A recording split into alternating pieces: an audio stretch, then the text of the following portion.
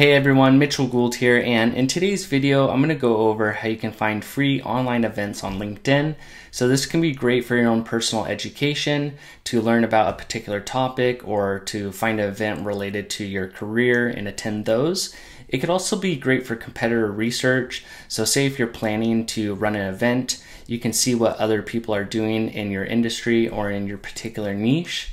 So to find events, you're going to go into LinkedIn and you're going to go to the search bar section and you're going to type in a keyword, um, something related to event that you want to see. So let's say I'm interested in SaaS um, products, software as a service. So I'll type that in here. And then you'll go to the events tab and click that. And then it's going to show you all the events related to that keyword that you entered. So I can see nine mistakes SaaS founders make, um, for founders selling B2B SaaS products. And then you can click on one of these events and then you can click attend and register for those events. So you can type in any keywords here and search for events there.